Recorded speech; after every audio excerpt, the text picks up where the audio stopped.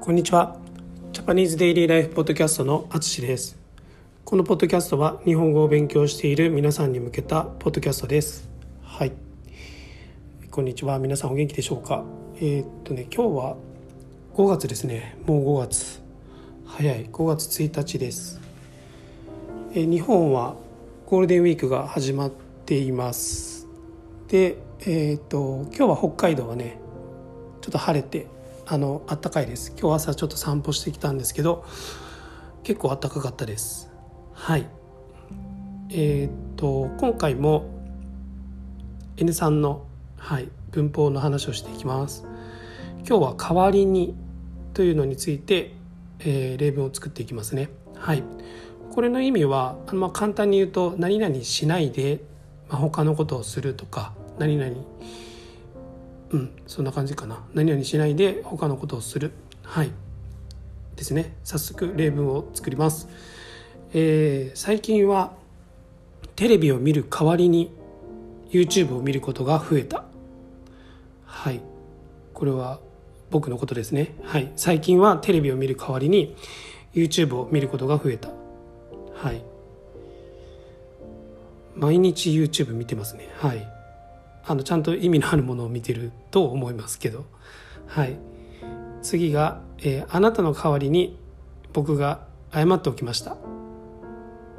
はい。あなたの代わりに僕が謝っておきました。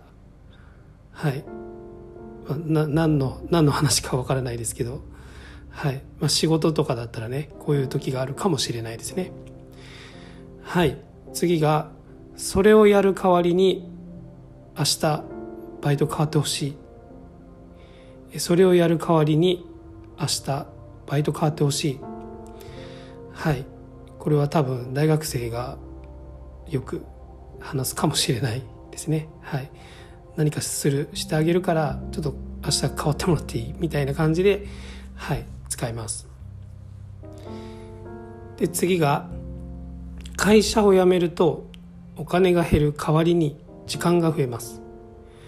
会社を辞めるとお金が減る代わりに時間が増えます。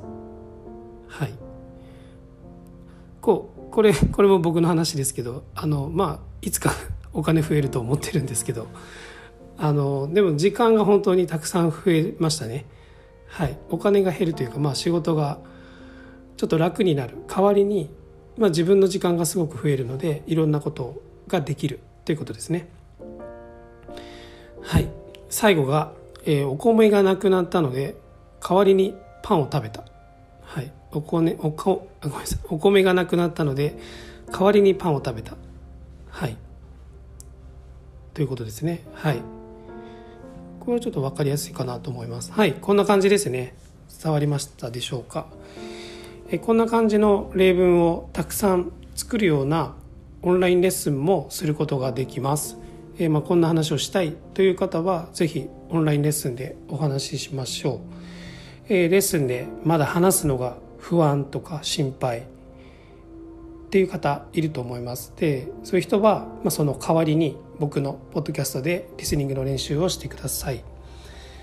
あとそれから、えっと、ちょっと前から言ってるんですけど、まあ、僕は Kindle で日本語の名詞の例文を、えー、たくさん載せた本を作りました。簡単な本なんですけどあの例文たくさんあるので皆さんの日本語の文を作る時のヒントになればいいなと思います。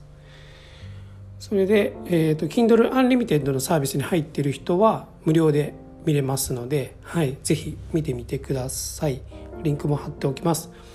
ということで今回も最後まで聞いていただきありがとうございます。ではまた。